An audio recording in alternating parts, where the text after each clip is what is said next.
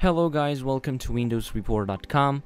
In this video, we're gonna present you 5 of the best bandwidth monitors for Windows 10. These programs work very good on every operating system and you can download them from the article down below, which you can find of course in the description. So let's begin.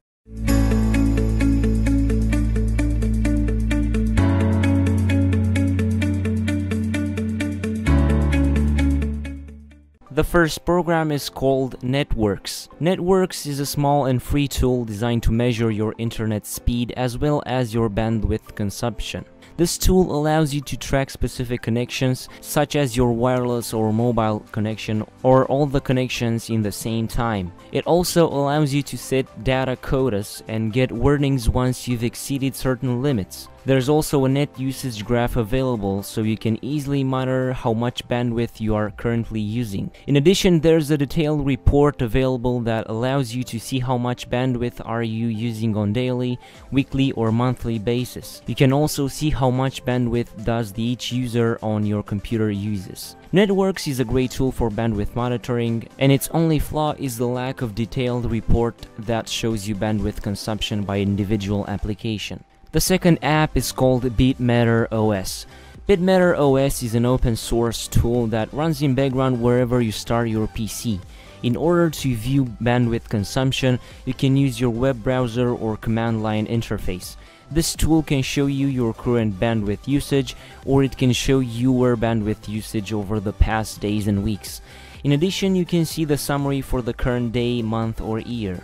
If you wish, you can also get a summary for specific days and export reports in CSV format. If you have a bandwidth limit, you can also set an alert to trigger once you exceed a certain threshold.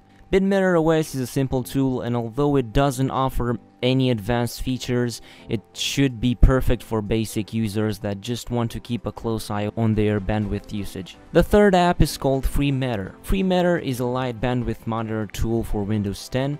First thing you'll notice about this app is its humble interface that consists of a live graph that shows you current network usage. If you don't want the graph to appear at all times, you can simply minimize it and the live graph will remain active in your taskbar. Regarding the graph, you can customize its update frequency, scale, color, and transparency. By double-clicking the graph, you'll open a report that shows you your weekly, daily, or monthly bandwidth consumption. In addition, you can set alerts if you want to be notified once you've exceeded certain limits. The last app from this video is called Rokario Bandwidth Monitor. Rokario Bandwidth Monitor is a simple tool that comes with a live graph that shows bandwidth usage in real time. You can customize the graph with wide range of themes and you can easily create your own themes with this tool. We have to admit that Rokario lacks certain features such as alerts. As for the report log, it doesn't allow you to see your monthly or weekly bandwidth usage.